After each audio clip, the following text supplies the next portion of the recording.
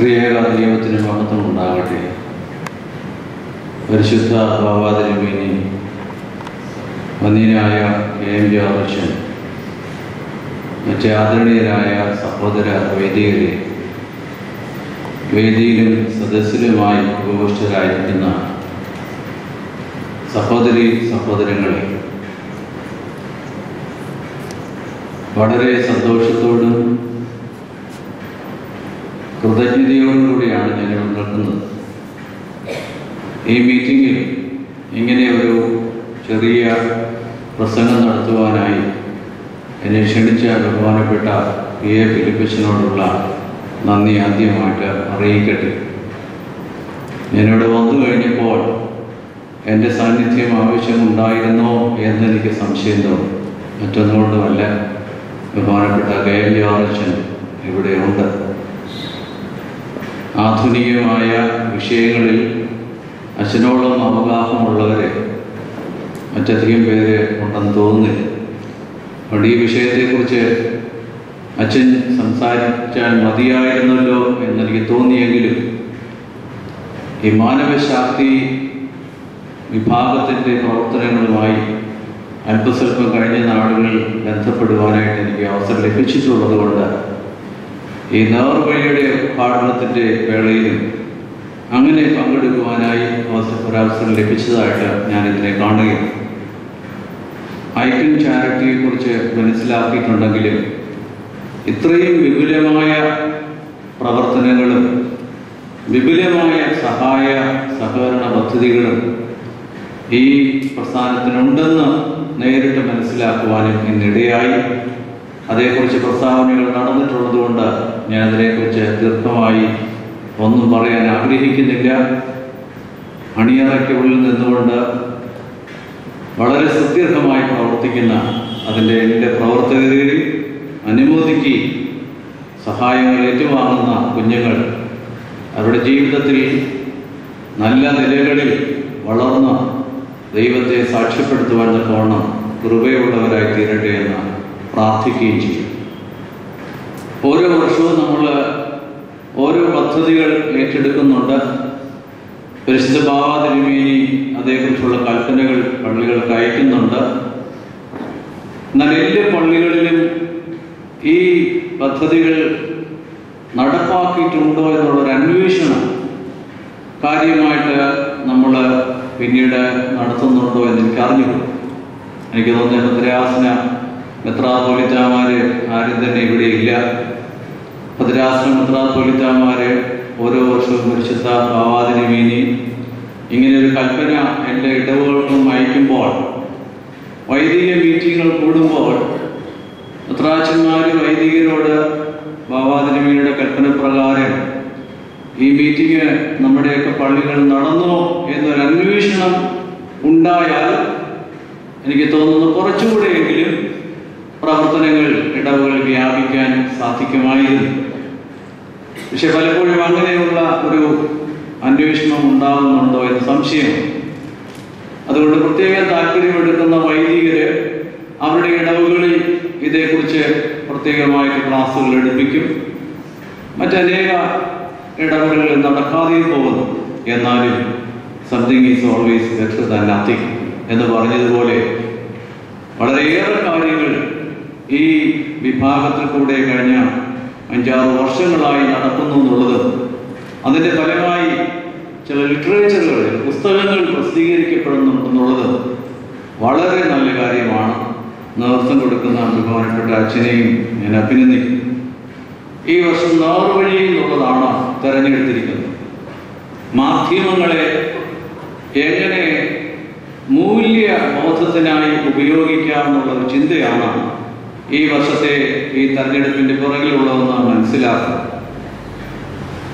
നമുക്കറിയാം മാധ്യമങ്ങൾ കടന്നു ചെന്നിട്ടില്ലാത്ത ഒരു മേഖലയും ഇല്ല.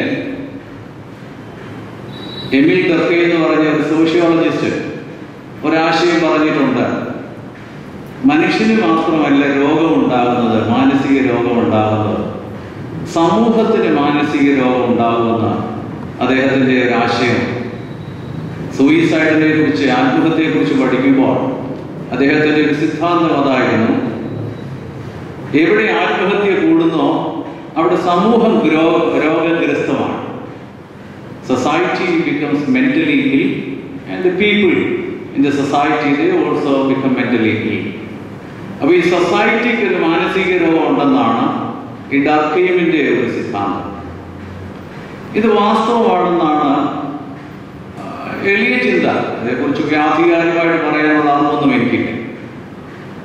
ഇപ്പോൾ ആനുകാലികമായിട്ട് നടക്കുന്ന ഒരു സംഭവത്തെ ഞാൻ നിങ്ങളുടെ ശ്രദ്ധയിലേക്ക് കൊണ്ടുവരിക അതിനോട് വിയോജിപ്പുള്ളവർ കാണുമായിരിക്കും വിയോജിക്കാം പക്ഷെ ചിന്തിക്കാം കേരളത്തിലൊരു നാഷണൽ ഗെയിംസ് നടക്കാനായിട്ട് പോകുന്നു.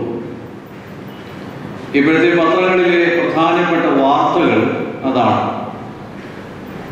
അതിനെ ചില മാധ്യമങ്ങൾക്ക് ഗവൺമെന്റ് പ്രത്യേകമായ ധനസഹായങ്ങൾ നൽകി. മാധ്യമങ്ങൾ കേരളം ഒട്ടാകെ കൂട്ടയോട്ടം സംഘടിപ്പിച്ചിരിക്കുകയാണ്. ഞാൻ അതിൽ ഓടാൻ തയ്യാറല്ല. ഞാൻ ഓടുന്നുമില്ല. ഓടേണ്ട ആവശ്യവും ഉണ്ടെന്ന് തോന്നുന്നില്ല. പക്ഷേ കേരളത്തിലെ അനേക സ്ഥലങ്ങളിൽ കൂട്ടയോട്ടത്തിനുള്ള തയ്യാറെടുപ്പുകൾ നടന്നു കഴിഞ്ഞു. ഓടാനായിട്ട് അത് പള്ളിക്കൂടങ്ങൾ അത് ബുദ്ധിജീവികൾ സാംസ്കാരിക നേയ നായകന്മാര് രാഷ്ട്രീയ നേതാക്കന്മാര് അങ്ങനെ അനേകം പേര് കൂട്ടയോട്ടത്തിന് വളരെയധികമായി പിന്തുണ പ്രഖ്യാപിച്ചുകൊണ്ട് ജനുവരി മാസം ഇരുപതാം തീയതി കേരളത്തിൽ ആർക്കും അങ്ങോട്ടും ഇങ്ങോട്ടും പോകാൻ ഒക്കാതെ വണ്ണം ട്രാഫിക് തടസ്സങ്ങളൊക്കെ സൃഷ്ടിച്ച് കൂട്ടയോട്ടം. ഇപ്പോഴത്തെ ഇന്ന് ഇന്നത്തെ ദിവസത്തെ പത്രം നോക്കാമെങ്കിൽ അതിന്റെ എട്ട് ഒമ്പത് പേജുകൾ കൂട്ടയോട്ടത്തിന് വേണ്ടി നീക്കി വെച്ചിട്ടുണ്ട് അപ്പോൾ നാഷണൽ ഗെയിംസ് കേരളത്തിൽ നടക്കുന്നു എന്നുള്ളത് കൊണ്ട് കേരളം മുഴുവനും ഓടേണ്ട കാര്യമുണ്ടോ എന്നൊരു മറുചോദ്യം ചോദിക്കുവാൻ ഇവിടെ ആരുമില്ല. അല്ലെങ്കിൽ ചോദിച്ചാൽ ആ ചോദിച്ചവൻ കുഴപ്പമുള്ളവനാണെന്ന് പറയും. അതുകൊണ്ട് ഒരു പക്ഷേ ഇവിടെ അബ്നോർമൽ ഞാനായിരിക്കും ബാക്കിയുള്ളവരെ ഓടുന്നവർ നോർമലായിരിക്കും പക്ഷേ എനിക്ക് ബോധ്യമുണ്ട് ഞാൻ നോർമൽസിൽ നൂറ് ശതമാനമുള്ള ആളല്ലെങ്കിലും ഈ ഓടുന്നവരെക്കാൾ നോർമലാണെന്നാണ് എന്റെ ബോധ്യം. അപ്പോൾ ഈ മാധ്യമങ്ങൾ അയഥാർത്ഥമായതിനെ യഥാർത്ഥമായിട്ട് ചിത്രീകരിച്ച് ആവേശം കൊള്ളിക്കുന്ന ഒരു സംവിധാനം മാധ്യമത്തിന്റെ മാധ്യമങ്ങളുടെ സ്വഭാവമാണ്. നാഷണൽ ഗെയിംസ് അത് നേരെ മറിച്ച് കേരളത്തിൽ മധ്യവർഗീയമെന്ന് പറയുന്ന ഒരു കാര്യത്തെക്കുറിച്ച് അതിന്റെ ഉപഭോഗം കുറയ്ക്കുന്നതിന് വേണ്ടി കേരളം മുഴുവനും ഓടി. ഒരു പക്ഷേ അതിനെക്കുറിച്ച് ഗുണപരമായ ഒരു വ്യതിയാനം വരുത്തുന്നതിന് വേണ്ടി ഒരു ഓട്ടത്തിന്റെ സംവിധാനമായിരുന്നെങ്കിൽ പിന്നെയും അതിൽ അർത്ഥം ഞാൻ കാണുമായിരുന്നു. ഒരു ഗെയിംസ് നടക്കുന്നതിന് ഗെയിംസ് നടക്കട്ടെ നല്ല കാര്യമാണ്? അതിനെ അർത്ഥങ്ങളൊക്കെ ഉണ്ട്. പക്ഷെ ഒരു സമൂഹം മുഴുവൻ ഇങ്ങനെ ഇറങ്ങി ഒരു ഒരു ലക്ഷ്യവും ഇല്ലാതെ ഓടി ഓടി പോകേണ്ട കാര്യമുണ്ടോ എന്ന് എനിക്കറിയാൻ പറ്റും അപ്പൊ ഈ മാധ്യമങ്ങളുടെ ഒരു സ്വഭാവം നമ്മളൊന്ന് മനസ്സിലാക്കേണ്ടി മാധ്യമം എന്ന് പറയുന്ന സംസ്കാരം ബദലില്ലാത്ത ഒരു സംസ്കാരമായിട്ട് മാറിയിട്ടുണ്ട്. നമുക്കറിയാം ഇന്ന് ലോകത്തിന്റെ തന്നെ ഒരു വലിയ പ്രശ്നമാണ് മുമ്പ് ക്യാപിറ്റലിസത്തിന് മുതലാളിത്തത്തിന് എതിര് നിൽക്കുന്ന ഒരു സോഷ്യലിസ്റ്റ് പിന്നീട് മാർക്സിസ്റ്റ് ഇതുപോലെയുള്ള തത്വസംഹിതകളും ഐഡിയോളജിയൊക്കെ ഉണ്ടായി എന്നാൽ അതൊക്കെ കുറച്ചൊക്കെ പരാജയപ്പെട്ടിട്ട് മുതലാളിത്തത്തിന്റെ ബദൽ നിൽക്കാൻ മറ്റൊന്നും ഇല്ല എന്നുള്ള നിലയിൽ ഓപ്പൺ മാർക്കറ്റ് ഇക്കോണമിയും ഗ്ലോബലൈസേഷനും ലോകത്തെ ആകെ ഗ്രസിച്ചിട്ടുണ്ട് പക്ഷെ ബദൽ ഉണ്ടാകാതിരിക്കാൻ ഒക്കെയില്ല. ബദൽ ഉണ്ടാകും യാതൊരു സംശയമില്ല പക്ഷെ ഇപ്പോഴത്തെ നിലയിൽ നമ്മുടെ മുമ്പിൽ പ്രത്യേകമായിട്ടൊരു ബദലിനെ കാണിച്ചു കൊടുക്കാൻ ഒക്കുന്നില്ല. ചെറിയ നിലയിൽ അവിടെ ഇവിടെയൊക്കെ ബദൽ സംസ്കാരം എന്ന് പറഞ്ഞിട്ടുണ്ടെങ്കിലും ഈ വലിയ ഭീമാകാരമായ ഈ സംവിധാനത്തെ എതിർക്കുവാനുള്ള ശക്തി മറ്റൊന്നിനും ഇതുവരെ ഉണ്ടായിട്ടുണ്ടെന്ന് തോന്നുന്നില്ല. ഈ മാധ്യമം എന്ന് പറയുന്നത് ഒരു സംസ്കാരം. ആ സംസ്കാരത്തിന്റെ അടിത്തട്ടിലുള്ളതിനെ നമ്മൾ തിരിച്ചറിയണം. എന്നിട്ട് വേണം നമ്മൾ ഈ നേർവഴിയുടെ പദ്ധതികൾ ആവിഷ്കരിക്കാൻ. എന്താ ഇതിന്റെ അടിത്തട്ടിലുള്ളത്? ഇത് ആധുനിക മുതലാളിത്ത സംസ്കാരത്തിന്റെ നിയോ ക്യാപിറ്റലൈസേഷൻ ക്യാപിറ്റലിസത്തിന്റെ ആഗോളവൽക്കരണത്തിന്റെ സന്തതിയാണ് അതിന് പുറകിൽ ശക്തമായ ഒരു സാമ്പത്തിക സംവിധാനം. അതിനെ നയിക്കുന്നത് പ്രോഫിറ്റ് മോട്ടീവാണ് അതിനെ നയിക്കുന്നത് കൊമേഴ്സ്യൽ ഇൻട്രസ്റ്റ് ആണ്. സാമ്പത്തിക താല്പര്യങ്ങളാണ് അതിന് ടൂൾസ് ആയിട്ട് മാറുന്നത് പരസ്യങ്ങളാണ്. ഈ പരസ്യങ്ങൾ വിറ്റഴിക്കപ്പെടാനായിട്ട് അതിനെ സാധന സാമഗ്രികൾ മനുഷ്യ ജീവിതത്തിന് കൂടുതൽ സന്തോഷം കൊടുക്കുന്നതാണെന്ന് കരുതി മനുഷ്യരിൽ ഒരു കൃത്രിമമായിട്ടുള്ള ആനന്ദം സൃഷ്ടിച്ചുകൊണ്ട് ഈ സാമഗ്രികൾ വിറ്റഴിക്കപ്പെടാനുള്ള ശ്രമമാണ്. അതിനോടൊപ്പം സെൻസേഷണൽ വാർത്തകൾ. മനുഷ്യർക്ക് ഏറ്റവും താല്പര്യമുള്ളതാണ് വളരെ വൈകാരികമായി നമ്മളെ ഇറക്കുന്ന വർത്തമാനങ്ങൾ. അത് വളരെ പ്രധാനമായിട്ടുള്ളതാണ് സെക്സുമായി ബന്ധപ്പെട്ട ലൈംഗികതയുമായി ബന്ധപ്പെട്ട പിന്നെ വയലൻസ് സെക്സ് ആൻഡ് വയലൻസ് ഇത് രണ്ടും കൂടെ കൂട്ടി കണക്കുമ്പോൾ ആവശ്യത്തിലധികമായി മനുഷ്യർക്ക് ഇളക്കങ്ങൾ സൃഷ്ടിക്കാനായിട്ട് സാധ്യമാണ്. അപ്പൊ ഇങ്ങനെയുള്ള ചില ഘടകങ്ങളെ ഒരുമിപ്പിച്ച് ചേർത്തിട്ടുള്ള ഒരു സംസ്കാരമാണ് ഈ മാധ്യമ സംസ്കാരം. ഇതിന് ബദലും നിൽക്കാനായിട്ട് ആർക്കും സാധ്യമല്ല എന്നുള്ളതാണ് വസ്തുത. ഏഷ്യാനെറ്റിന്റെ തുടക്കക്കാരനായിരുന്ന ശശികുമാർ എന്ന് പറയുന്ന വലിയ ഒരു മാധ്യമ പ്രവർത്തകനാണ്. ഇവിടുത്തെ കേരളത്തിലെ മാധ്യമങ്ങൾ നോക്കാമെങ്കിൽ ആദ്യത്തേത് ഏഷ്യാനെറ്റായിരുന്നു വളരെ ശക്തമായ മാധ്യമമായി രംഗത്ത് വന്നു അപ്പൊ ഏഷ്യാനെറ്റിന്റെ അതിന്റെ തുടക്കത്തിൽ അതിന്റെ പ്രവർത്തകനായിട്ട് പ്രവർത്തിച്ച ആളാണ് ഈ ശശികുമാർ. അദ്ദേഹത്തിന്റെ ഒരു ഇന്റർവ്യൂ ഞാൻ വായിക്കുകയുണ്ടായി. അപ്പൊ ഈ ശശികുമാർ പറഞ്ഞത് അദ്ദേഹം ഒരു ഇടതുപക്ഷ ചിന്താഗതിക്കാരൻ. ഞാൻ ഏഷ്യാനെറ്റിൽ പ്രവർത്തിച്ചു തുടങ്ങിയത് ഒരു പ്രത്യേകമായ ലക്ഷ്യത്തോടു കൂടിയാണ്. അതായത് സാധാരണയുള്ള പത്രമാധ്യമങ്ങളിലൊക്കെ പാർശ്വവൽക്കരിക്കപ്പെട്ടവർക്ക് ഒരിടം കിട്ടുന്നില്ല. പാർശ്വവൽക്കരിക്കപ്പെട്ടവർ ആരൊക്കെയാണെന്ന് വിശദീകരിക്കാൻ സമയം എടുക്കുക നമുക്കറിയാത്ത ആളുകളും ആദിവാസികളും തെരുവിൽ കിടന്ന് ഉറങ്ങുന്നവരും കഷ്ടപ്പെടുന്നവരും സമൂഹത്തിന്റെ മുഖ്യധാരയിലല്ലാത്ത അനേകം പേര്. അപ്പൊ അവരെ അവരുടെ പ്രശ്നങ്ങളെ സമൂഹത്തിന്റെ മധ്യത്ത് കൊണ്ടുവരുവാനായി ഏറ്റവും നല്ല ഉപാധി ഈ ടെലിവിഷനാണ് ഈ മാധ്യമമാണെന്ന് ചിന്തിച്ചുകൊണ്ടാണ് ഞാൻ ഏഷ്യാനെറ്റിൽ പ്രവർത്തിച്ചു തുടങ്ങിയത്. പക്ഷെ കുറച്ചു വർഷങ്ങൾ കൊണ്ട് എനിക്ക് മനസ്സിലായി. അതിനകത്ത് കൗതുക വാർത്തകളായി പാർശ്വവൽക്കരിക്കപ്പെട്ടവരെ കുറിച്ച് വല്ലപ്പോഴും ചില ന്യൂസ് കൊടുക്കാന്നുള്ളതല്ലാതെ ഇത് വരേണ്യ വിഭാഗത്തിന്റെ താല്പര്യങ്ങളെ സംരക്ഷിക്കുന്ന ഒരു സംവിധാനമാണെന്ന് എനിക്ക് ബോധ്യമായി എന്ന് അദ്ദേഹം പറയുന്നുണ്ടായി കൗതുക വാർത്തകൾ പോലെ.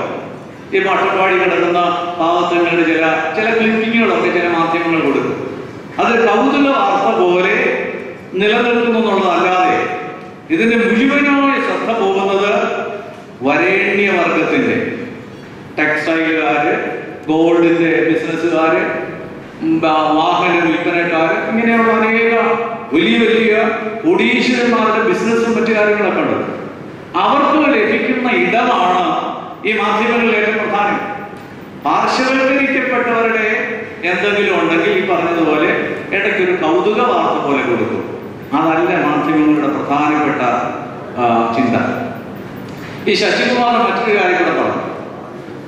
കേരളത്തിലെ വളരെ ലീഡിംഗ് ആയ ഒരു പത്രം ഈ ചാനൽ രംഗത്തേക്ക് പ്രവേശിക്കാൻ അറച്ചു. അവർ അറച്ചതിന്റെ കാരണം ഭാഷയുടെയും സംസ്കാരത്തിന്റെയും വളർച്ചയ്ക്ക് ഇത് സഹായിക്കുകയില്ല.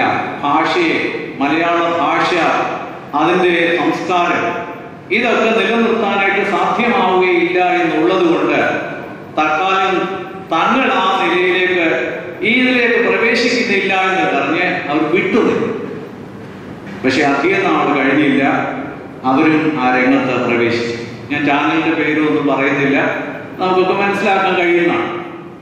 അവരെ രംഗത്ത് പ്രവേശിച്ചത് മാത്രമല്ല ഈ മാധ്യമ സംസ്കാരത്തിൽ അതിന്റെ വഴികളിൽ മുൻപന്തിയിൽ നിൽക്കാനുള്ള ടെക്നിക്സ് അവർ പഠിക്കുകയും ആ രീതിയിൽ അത് മുന്നോട്ട് കൊണ്ടുപോവുകയും ചെയ്യാം പിന്നെ നമുക്ക് കാണാവുന്നതാണ് ഒരു ബദൽ സംസ്കാരം അല്ലെങ്കിൽ ബദൽ പ്രത്യയശാസ്ത്രം എന്ന് പറഞ്ഞ് രൂപം കൊടുക്കുന്നത് നമുക്കറിയാവുന്ന ഇവിടുത്തെ മാർക്സിസ്റ്റ് പാർട്ടി. മാർക്സിസം ബലഹീനമായെങ്കിലും കേരളത്തിൽ ഇപ്പോഴും അവർക്ക് കുറച്ച് ശക്തിയൊക്കെയാണ് അവരും ചാനൽ രംഗത്തേക്ക് വന്നു. അപ്പൊ അവർ മുതലാളിത്ത സംസ്കാരത്തിന് ബദൽ നിൽക്കുന്ന ഒരു പ്രത്യയശാസ്ത്രവും ഒരു സംസ്കാരവും ഒരു ജീവിത ശൈലിയും ഒക്കെ രൂപപ്പെടുത്തുന്ന ഒരു ആദർശ സംഹിതയുടെ ഉടമകളാണ്.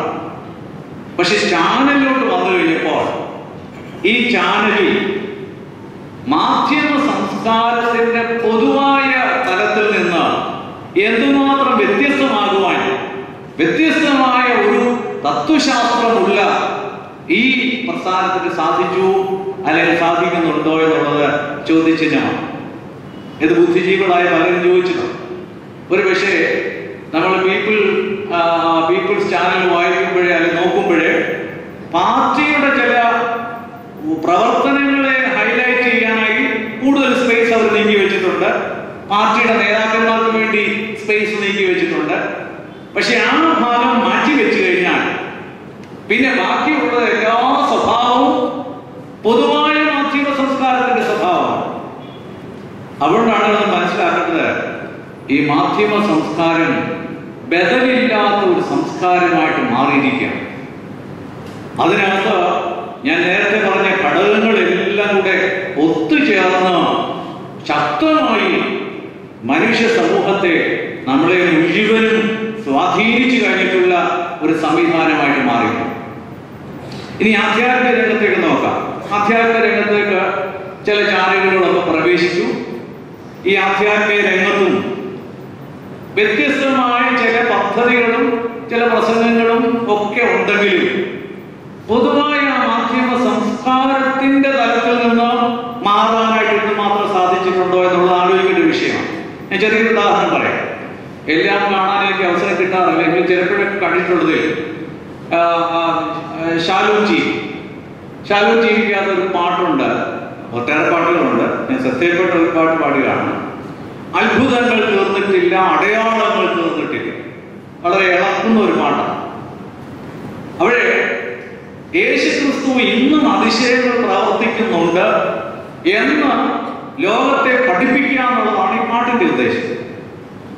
ആ പാട്ടിനകത്ത് പക്ഷേ ചിത്രീകരിക്കപ്പെടുന്ന രംഗം എങ്ങനെയാണ്? ഒരു തളർവാദി ഒരാൾ വീൽ ചെയറിൽ ഇരിക്കുന്നു. ആ മനുഷ്യൻ തളർവാദിയൊന്നും അല്ല. നാല് കഴിവൊക്കെ ഉള്ള ആളാണ്. അയാൾ അഭിനയിക്കാനിരിക്കുകയാണ് അവിടെ. അപ്പൊ ഈ അഭിനയിക്കാനിരിക്കുന്ന ആൾ പിന്നെ അയാൾ അഭിനയിക്കും നന്നായിട്ട് അഭിനയിക്കുന്നു അപ്പോൾ അത്ഭുതങ്ങൾ തോന്നിട്ടില്ല അടയാളങ്ങൾ തോന്നിട്ടില്ല എന്ന് പാട്ടും പാടിക്കൊണ്ട് ഈ മനുഷ്യനെ തള്ളി ഒരാളിന്റെ അടുക്കൽ കൊണ്ടുപോകുന്നു. അതാരാ? യേശു ക്രിസ്തു യേശു ക്രിസ്തുവും അഭിനയിക്കുന്ന ഒരാൾ. അവൻ അഭിനയിക്കുന്ന ഒരാളുടെ മുമ്പിൽ ഇത് തള്ളിക്കൊണ്ട് വെച്ച് കഴിഞ്ഞിട്ട് അവിടെ വന്ന് പാട്ടുപാടി അങ്ങോട്ട് പാട്ടിന്റെ ഉച്ച ഉച്ചസ്ഥായിൽ എത്തുമ്പോൾ യേശു ആ മനുഷ്യന്റെ തലയിലോട്ട് ഐ വെക്കുന്നു അയാൾ എഴുന്നേൽക്കുന്നു പിന്നെ അയാളൊന്ന് തുളിക്കാം ഇതിനകത്ത് യാഥാർത്ഥ്യം എന്തോ ഉണ്ട് അപ്പൊ ഇതിനെയും ചെയ്യുന്നത് പൊതുവായ മാധ്യമ സംസ്കാരത്തിന്റെ അതേ തലങ്ങളെടുത്ത് ഉപയോഗിക്കാനേ ഈ മാധ്യമങ്ങൾക്ക് സാധിക്കുന്നു. ഇതാണ് നമ്മുടെ മുമ്പിലുള്ള ഇപ്പോഴത്തെ വിഷയം. ഇത് വളരെ പഠിക്കേണ്ട ഒരു വിഷയം തന്നെയാണ്. എങ്ങനെ ഒരു ബദൽ സംസ്കാരം ഈ മാധ്യമ രംഗത്ത് കൊണ്ടുവരാൻ ഒക്കുമെന്നുള്ളത് അത്ര എളുപ്പമല്ല. അത്രമാത്രം ശക്തമാണ് അതിന്റെ വഴികൾ എന്നുള്ളത് നമ്മൾ തിരിച്ചറിയേണ്ടിയിരിക്കുന്നു. നമുക്ക് നോക്കാം നമ്മുടെ സഭകളിലെ കാര്യം നോക്കാം. മാധ്യമങ്ങൾ സഭയെ കീഴടക്കിയോ? സഭകൾ മാധ്യമങ്ങളെ കീഴടക്കിയോ? വളരെ വ്യക്തമല്ലേ? മാധ്യമങ്ങൾക്ക് സഭകൾ കീഴടങ്ങിയിട്ടല്ലേ ഇന്നത്തെ പ്രവർത്തനം? ഞാൻ വീണ്ടും ഒരു ചെറിയ ഉദാഹരണം കാണിക്കുമ്പോഴേ എന്നോട് ക്ഷമിക്കണം കേട്ടോ. എനിക്ക് ഉള്ള. അതുകൊണ്ട് കൊല്ലാട്ട് വഴി ഇപ്പോൾ ഒന്ന് പോയി നോക്കിയാൽ ഈ ദേവലോകം മുതൽ ഒരു അഞ്ച് കിലോമീറ്റർ പ്രദേശത്ത് അവിടെ ഒരു പള്ളി ഉപദാശം ഈ അഞ്ച് കിലോമീറ്റർ സ്ഥലത്ത് വെച്ചിരിക്കുന്ന ഫ്ലക്സുകളും ബോർഡുകളും ബാനറുകളും ആർച്ചുകളും എത്ര എത്ര അധികമാണ്? എന്താണ് ഇതിന്റെ ആവശ്യം? ഓർത്തു നോക്കുക. പള്ളികളിൽ ഇന്ന് നടക്കുന്ന ഒരു കൂതാശ നടന്നാൽ ഭാഗ്യം. പിരിവച്ചനോട് നന്ദി പറയുന്നു. ഇവിടെ ഏതായാലും ഇന്ന് രാഷ്ട്രീയക്കാരും ഉദ്ഘാടനം ചെയ്യാനില്ലായിരുന്നു. നന്നായി. സാധാരണഗതിയിൽ ഇത് അവരൊക്കെയാണ് ഉദ്ഘാടനം ചെയ്യുന്നത്. ഈസ്റ്റർ മെസ്സേജ് കൊടുക്കാനും ക്രിസ്മസ് മെസ്സേജ് കൊടുക്കാനും എല്ലാത്തിനും ഇന്ന് ആരാ മന്ത്രിമാർ ആത്മീയ സംഘടനകളുടെ ആഗോള സമ്മേളനം ഉദ്ഘാടനം ചെയ്യുന്നത് ആരാ? നടീനടന്മാർ. എനിക്ക് അവരോട് പണമൊന്നുമില്ല കേട്ടോ. പക്ഷേ നടീനടന്മാർ അവർ നല്ലോണം അവരുടേതായ ജോലി ചെയ്യട്ടെ. ആധ്യാത്മിക സംഘടനകളുടെ വാർഷികം ഉദ്ഘാടനം ചെയ്യുവാനും ആധ്യാത്മിക സംഘടനകളിൽ ഒരു സന്ദേശം കൊടുക്കുവാനും സഭകളിൽ ആരുമില്ല പക്ഷെ സംഘാടകർക്ക് അറിയാം അച്ഛനെയും മെസറാച്ചനെയും കൊണ്ട് ഉദ്ഘാടനം ചെയ്യിച്ചാൽ പാത്രത്തിൽ പടം വരത്തില്ല. പാത്രത്തിൽ പടം വരുന്നതിന് വേണ്ടി ആധ്യാത്മിക സംഘടനകളുടെ മീറ്റിങ്ങുകൾ ജൂബിലികൾ. ഇവിടെ ആരാ കീഴടങ്ങിയിരിക്കുന്നത് ആധ്യാത്മിക മീഡിയത്തിന് കീഴടങ്ങിയിരിക്കുകയാണ്. മീഡിയത്തിന് മീഡിയാസിന് ബദൽ സംസ്കാരം സൃഷ്ടിക്കേണ്ട സഭ സഭയുടെ ഉപാധികൾ അതിന് കീഴടങ്ങിക്കൊണ്ട് പോയിക്കൊണ്ടിരിക്കുകയാണ് ഇവിടെയാണ് നമുക്കുള്ള ഇന്നത്തെ വലിയ സംഘർഷം. അതുകൊണ്ട് ആഴത്തിൽ ചിന്തിക്കേണ്ടിയിരിക്കുന്നു. ഈ അടുത്ത സമയത്ത് അമേരിക്കയിൽ പോയപ്പോഴേ അരിസോണ എന്ന് പറഞ്ഞ സ്റ്റേറ്റിൽ പോയി. ആദ്യമായിട്ട് പോവുകയാണ് അവിടെ സെന്റ് ആന്റണീസ് മൊണാസ്ട്രിയാണ് മരുഭൂമി അരിസോണ അമേരിക്കയിലെ മരുഭൂമിയുള്ള സ്റ്റേറ്റ് ആണ് മരുഭൂമിയുടെ നടുക്ക് തന്നെയാണ് അവിടെ ആ ആശ്രമം. അപ്പൊ ആശ്രമത്തിൽ പോയി കണ്ടു. എനിക്ക് അവിടെ ഏറ്റവും ആകർഷണീയമായ ഒരു കാര്യം അവിടെ എഴുതി വെച്ചിരിക്കുന്നു. എല്ലാ ഫോട്ടോകളും എടുക്കാം. എക്സെപ്റ്റ് ഫോട്ടോഗ്രാഫ്സ് എക്സെപ്റ്റ് മങ്സ് മങ്സിന്റെ ഫോട്ടോ മാത്രം എടുക്കരുത്. ബാക്കി ആശ്രമം മനോഹരമായ ഒരു ആശ്രമമാണ്. ആശ്രമത്തിലെ എല്ലായിടത്തും എല്ലായിടത്തും ഫോട്ടോ എടുക്കാം. പക്ഷെ മനസ്സിന്റെ ഫോട്ടോ എടുക്കരുത്. ഈ ഒരു സംസ്കാരം ഇതൊരു വേദനുണ്ടായ ലോകത്തിൽ പ്രത്യക്ഷപ്പെടാനും അംഗീകാരം നേടാനും മാധ്യമങ്ങളുടെ ശ്രദ്ധ നേടാനും ശ്രമിക്കുന്നതെന്ന് പിന്മാറിക്കൊണ്ടുള്ള ഒരു സമീപനം. ഈ രീതിയിൽ നമ്മുടെ ഇടവകളെ ഒന്ന് ബോധവൽക്കരിക്കാൻ സാധിക്കുമോ? ഇന്ന് അനേകം ഇടവകളിലെ പരിപാടികൾ മാധ്യമങ്ങൾക്ക് വേണ്ടി മാത്രം. പത്ത് വർഷം ഒരു പള്ളിയായതിന് ജൂബിലി കൊണ്ടാടുന്നത് പത്ത് വർഷമായിട്ട് വലിയ കാര്യമാണ്. അല്ലെങ്കിൽ ഇരുപത്തഞ്ച് വർഷം ഒരു പള്ളിയായതിന് ജൂബിലി കൊണ്ടാടണം അപ്പോഴത്തേക്ക് നാല് പേരുള്ള കളർ സപ്ലിമെന്റ് അതിനകത്ത് സംഘാടകരുടെ എല്ലാം ഫോട്ടോകൾ ഇങ്ങനെ ചെറുതും വലുതുമായ കാര്യങ്ങൾക്ക് വേണ്ടി സഭകൾ അതിന്റെ ഊർജം ചെലവഴിക്കുന്നുവെങ്കിൽ എന്താണ് ഇവിടെ സംഭവിച്ചുകൊണ്ടിരിക്കുന്നത്? മാധ്യമ സംസ്കാരത്തിന്റെ അടിമകളായി മാറിയിരിക്കുന്നു. അതുകൊണ്ട് ഇതിൽ നിന്ന് വിട്ടു നിൽക്കാൻ നമുക്ക് സാധിക്കുമോ? നമുക്ക് ഇത്രയും ആവശ്യമുണ്ടോ? മാധ്യമങ്ങൾ നമ്മൾ അല്പം പുറകിലായി പോയി കഴിഞ്ഞാൽ സഭ അങ്ങ് പുറകിൽ പോകുമോ? ചില ആൾക്കാരുടെയൊക്കെ പേടിയതാണ് മാധ്യമങ്ങൾ നിറഞ്ഞു നിന്നില്ലെങ്കിൽ സഭയ്ക്ക് ഏതാണ്ട് വലിയ കുറവുണ്ടാകുമെന്ന ഒരു കുറവുണ്ടാകില്ല സഭയെ നയിക്കുന്ന ദൈവമാണ് മാധ്യമങ്ങളല്ല. ദൈവമാണ് സഭയെ ഈ വിശ്വാസമുള്ള ഒരു തലമുറയെ നമുക്ക് ഉണ്ടാക്കിയെടുക്കേണ്ടിയിരിക്കുന്നു അവിടെ അവിടെയാണ് സഭയുടെ ഭാവി ഇവിടെ പാത്രങ്ങളെ സ്വാധീനിച്ചു കഴിഞ്ഞാൽ നമുക്കറിയാം ഇപ്പൊ ഓരോ ഓരോ പ്രദേശത്തും നമ്മുടെ അച്ഛന്മാരൊക്കെ ഞാൻ ചിലപ്പോൾ ആലോചിച്ച് പോകാറുണ്ട്. ഒരു പള്ളിപ്പെരുന്നാൾ നടന്നു കഴിഞ്ഞാൽ കാപ്പ ഇട്ടുകൊണ്ട് പതാക ഉയർത്തുന്ന ഒരു പടം. അതെവിടെ? അവിടെ മാത്രമേ കാണത്തുള്ളൂ. പ്രദേശത്ത് മാത്രമേ അതെല്ലാം കൊടുക്കുക. ഇതെല്ലാം കൊടുപ്പിക്കാനായിട്ട് നമ്മളിവിടെ ബന്ധപ്പെടുകയാണ്. എവിടെ പോയി നിൽക്കുന്നു? ഇതിൽ എന്താ നേടുന്നത്? അതുകൊണ്ട് നമുക്കിവിടെ അടിസ്ഥാനപരമായ പ്രശ്നം ഈ സംസ്കാരം ഇത് ഉപഭോഗ സംസ്കാരമാണ് ആഡംബര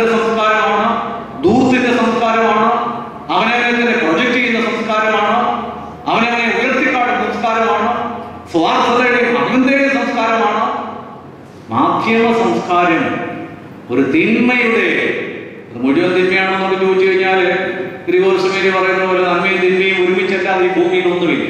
അതുകൊണ്ട് അതിനകത്ത് നന്മ കാണുമായിരിക്കാം. പക്ഷെ പൊതുവായി പറഞ്ഞു കഴിഞ്ഞാൽ വളരെ തിന്മയായ ഒരു സംസ്കാരത്തിന്റെ ഒരു പ്രതിഫലനമാണ് ഈ മാധ്യമ സംസ്കാരം. നമുക്ക് അതിനെയാണ് നന്മയിലേക്ക് തിരിച്ചു വരാൻ തിരിച്ചു വിടാനായിട്ട് പക്ഷെ ഒരു ബദൽ സംസ്കാരം ഉണ്ടായിട്ടുണ്ടോ എന്ന് എനിക്കറിയാമില്ല എനിക്ക് അത്രയും പറയാനുള്ള അറിവില്ല. ഒരു വിഷയം കേട്ടില്ല കുറച്ചുകൂടെ പറയാൻ അറിയും. തീർച്ചയായും.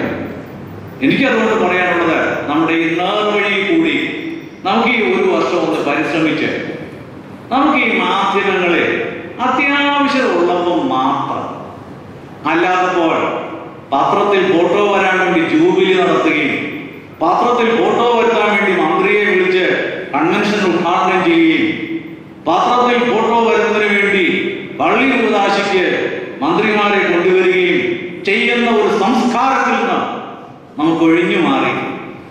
പ്രാർത്ഥിക്കേണ്ട മനുഷ്യരും മതി അവിടെ. അല്ലാത്തവരുടെ ഒരു സാന്നിധ്യമൊന്നും അവിടെ ഉണ്ടായില്ലെങ്കിലും കുഴപ്പമൊന്നുമില്ല. പിന്നെ കലാ സാംസ്കാരിക മീറ്റിങ്ങുകളൊക്കെ ഉണ്ടെന്നുണ്ടെങ്കിൽ നമുക്ക് നടീനടന്മാരെയും സാമൂഹ്യ സാമ്പത്തിക രാഷ്ട്രീയ വിഷയങ്ങൾ ചർച്ച ചെയ്യുന്നുണ്ടെങ്കിൽ അവിടെ നമുക്ക് മന്ത്രിമാരെയും നേതാക്കന്മാരെയും ഒക്കെയും വിളിക്കാം. ആധ്യാത്മികം എന്ന് പറയുന്നിടത്ത് എന്തിനാ ഈ പറയുന്ന ഈ ഒരു വിഭാഗം ആൾക്കാരെ തള്ളിക്കയറ്റം മാധ്യമങ്ങൾക്ക് വേണ്ടി? ഇവിടെ നമുക്ക് ഈ ഒരു ഒരു വർഷം ഒരു ചെറിയ പരിശ്രമം നടത്തി നോക്കാം. ഏതാണ്ട് ഈ മീറ്റിങ്ങുകൾ ഈ പോലെ നമ്മൾക്ക് അത്യാവശ്യം ഉള്ളിടത്ത് മാത്രം ഈ മാധ്യമങ്ങളെ ഉപയോഗിക്കുകയും നമ്മുടെ ഒരു മെയിൻ ഗ്ലോറിക്ക് വേണ്ടി മാധ്യമങ്ങളെ ഉപയോഗിക്കാതിരിക്കുന്ന ആവശ്യമില്ലെന്ന് പറയാനുള്ള ഒരു ധാർമ്മികതയും തന്റെ ചങ്കൂറ്റവും നമുക്കൊന്ന് നമ്മുടെ ആത്മീയ സംഘടനകൾ കൂടെ നമുക്കൊന്ന് വളർത്തിയെടുക്കാൻ ഒക്കുമോ എന്ന് നമുക്ക് നോക്കാം. അതുപോലെ നമ്മുടെ കുഞ്ഞുങ്ങളൊക്കെ മാധ്യമങ്ങളിൽ ഒഴിഞ്ഞിരിക്കാനായിട്ട് പറ്റുമൊന്നുമില്ല പക്ഷേ കുട്ടികളിൽ ഒരു സംസ്കാരം മാധ്യമങ്ങളെ കുറിച്ച് ക്രിട്ടിക്കലായിട്ട് വിലയിരുത്താനുള്ള ഒരു ബോധവൽക്കരണം. മാധ്യമങ്ങളെ മുഴുവൻ തള്ളിക്കളയൊന്നും വേണ്ട. അതിനെ വിമർശനാത്മകമായി വിലയിരുത്താനുള്ള ഒരു ബോധം നമ്മുടെ കുഞ്ഞുങ്ങൾക്ക് ഉണ്ടാക്കി കൊടുക്കുകയും അതിൽ തിന്മയായിട്ടുള്ളതിനെ തിരസ്കരിക്കാനുള്ള ഒരു ശക്തി അവർക്കുണ്ടാക്കി ഞാൻ ഓർക്കുകയാണ് ഞാൻ പ്രസംഗം പറഞ്ഞു കഴിഞ്ഞില്ല എന്റെ ഒരു പഴയ ഫോണാണ് സ്മാർട്ട് ഫോണൊന്നും ഈ വരയ്ക്കുന്നു ഞെക്കുന്നു അല്ല പഴയ ഫോൺ ഞെക്കുന്നു. കേട്ടോ അത് ഇവർ പഴയ ഫോണായിട്ട് ഉപയോഗിച്ചുകൊണ്ടിരിക്കുന്നു. ഈ പഴയ ഫോണിൽ എനിക്ക് ചില സന്ദേശം വരും. എന്താണെന്ന് അറിയാമോ? സന്ധ്യ പതിനെട്ട് വയസ്സ്. രേഷ്മ ഇരുപത്തൊന്ന് വയസ്സ്. ചാറ്റിങ് ഒരു മിനിറ്റിന് മൂന്ന് രൂപ. രണ്ട് കൊച്ചുമക്കളുടെ വലിയപ്പനായി ഞാൻ. എനിക്കും മെസ്സേജ് അയക്കുകയാണ്. ചാറ്റിങ്ങിന്റെ മെസ്സേജ് ഈ ഒറ്റ സാധനം കയ്യിൽ ഇരുന്നാൽ മതി. കൂടുതൽ തിന്മയ്ക്ക് ഒരിടത്തും പോകണ്ട. പിള്ളേർ തിന്മയ്ക്ക് പോകാൻ തിന്മ ചെയ്യാൻ വേറെ എങ്ങും പോകട്ടെ ഇതിനെ അവരുടെ പിടിച്ചോണ്ട് നടന്നാൽ മതി നമ്മുടെ മാതാപിതാക്കൾ ചിന്തിക്കണം. ഇതേ ഒരെണ്ണം ടെലിഫോണിൽ വരുമ്പോഴേ അടുത്ത നിമിഷം അതിൽ ഡിലീറ്റ് ബട്ടണാണ് ഇത് ഡിലീറ്റ് ചെയ്ത് കളയുക. നമുക്ക് ആവശ്യമില്ല. എന്താ പറയാനുള്ള ആന്തരികമായ ശക്തി നമ്മുടെ തലമുറയ്ക്ക് ഉണ്ടാക്കി കൊടുക്കാൻ സാധിക്കുമോ? തക്കാല മാധ്യമ സംസ്കാരത്തിന് ബദലൊന്നുമില്ല. മാധ്യമ ഉൾപ്പെട്ടവരൊക്കെ ഏകദേശം ഒരു രൂപത്തിലാണ് പോയിക്കൊണ്ടിരിക്കുന്നത്. ഐക്കൺ പോലെ പ്രത്യേകതകളോടുകൂടി ചില സംവിധാനങ്ങൾ പ്രവർത്തിക്കുന്നവരുണ്ടാകാമില്ലെന്ന് ഞാൻ പറയുന്നില്ല. നല്ല വശമാണ്. പക്ഷെ പൊതുവായ സംസ്കാരം ഗുണപരമായ വ്യതിയാനത്തിന് വേണ്ടിയുള്ളതല്ല. ഗുണപരമായ വ്യതിയാനത്തിന് വേണ്ടിയുള്ള ഒരു സംസ്കാരം വളർത്തിയെടുക്കാനുള്ള ഒരു എളിയ ശ്രമം. ചുരുങ്ങിയ പക്ഷം നമ്മുടെ കുടുംബങ്ങളിലെങ്കിലും ഒട്ടേറെ ചാനലുകൾ വരുമ്പോഴേ നമുക്കിത് ചിലത് ആവശ്യമില്ല എന്ന് തീരുമാനിക്കാനുള്ള ധാർമ്മികമായ ബോധമെങ്കിലും നമ്മുടെ മനുഷ്യർക്ക് ഉണ്ടാക്കി കൊടുക്കുക. കൂട്ടയോട്ടം പോലെ കൂട്ടഭ്രാന്തമുള്ള ചില പരിപാടികൾ നടക്കുമ്പോഴേ ഇത് കൂട്ടഭ്രാന്താണ്. ഇത് നമുക്ക് ആവശ്യമില്ലാത്തതാണ് എന്ന് ചിന്തിക്കാനുള്ള വിമർശനാത്മകമായ ബോധം നമ്മുടെ തലമുറയ്ക്ക് ഉണ്ടാക്കി കൊടുക്കാം. കയ്യിലിരിക്കുന്ന മൊബൈലിൽ ഇതുപോലെയുള്ള മെസ്സേജ് വരുമ്പോൾ എനിക്ക് ആവശ്യമുള്ളതല്ലിത് അത് ഡിലീറ്റ് ചെയ്ത് കളയാം സോഷ്യൽ നെറ്റ്വർക്കിൽ നമ്മുടെ കുട്ടികൾ പ്രവേശിക്കുമ്പോൾ ഗോസിപ്പും പരദൂഷണവും സഭയ്ക്ക് ദോഷം ചെയ്യുന്നതുമായിട്ടുള്ളത് വേണ്ട എന്ന് വെക്കാനുള്ള ഒരു ബോധ്യം. നമുക്കറിയാം സമീപകാലത്തുണ്ടായിട്ടുള്ള സഭയിലെ പല വിഷയങ്ങളും വിഷലിപ്തമാക്കിയത് സോഷ്യൽ നെറ്റ്വർക്കിങ്ങിൽ നമ്മുടെ കുറെ മനുഷ്യർ കയറി അതും ഇതും എഴുതിയൊക്കെ ചെയ്തതാണ്. അവർക്ക് ഈ ഒരു പോസ്റ്റിംഗ് കൊടുക്കുമ്പോൾ എന്റെ സഭയ്ക്ക് ഇത് നന്മയാണോ? ക്രിസ്തുവിന് ഇത് നന്മയെ ക്രിസ്തുവിന് ഇത് ഇഷ്ടമാണോ? യേശു ക്രിസ്തുവിന് പ്രിയകരമായ ദൈവരാജ്യത്തിന്റെ മൂല്യങ്ങൾക്ക് നിരക്കുന്നതായ എന്റെ സഭയ്ക്ക് കെട്ടുപണിക്ക് നിരക്കുന്നതായ ഒന്നാണോ ഞാൻ ഈ പോസ്റ്റ് ചെയ്യുന്നത് എന്ന് ചിന്തിക്കാനുള്ള ഒരു ബോധം. ഇത് നമ്മുടെ കുട്ടികൾക്ക് സോഷ്യൽ നെറ്റ്വർക്കിൽ പ്രവേശിക്കുന്നവർക്കുണ്ടാകാൻ. അങ്ങനെ പല വിധത്തിൽ നമുക്ക് പെട്ടെന്ന് മാധ്യമ സംസ്കാരത്തിന് ഒരു ബദൽ ഉണ്ടാക്കാൻ ഒത്തില്ലെങ്കിലും അതിന്റെ അപകടങ്ങളിൽ നിന്ന് ഒഴിഞ്ഞിരിക്കാനും നമ്മുടെ തലമുറയ്ക്കെങ്കിലും ഒരു പുതിയ ദിശാബോധം നൽകുവാൻ എന്തെങ്കിലും ചെയ്യാൻ ഈ വർഷം ഏറ്റെടുത്തിരിക്കുന്ന നേർവഴി എന്ന് പറഞ്ഞ പദ്ധതിക്ക് ഇടയാകട്ടെ എന്ന് പ്രാർത്ഥിച്ചുകൊണ്ട് ആശംസിച്ചുകൊണ്ട് എന്റെ വാക്കുകളെ അവസാനം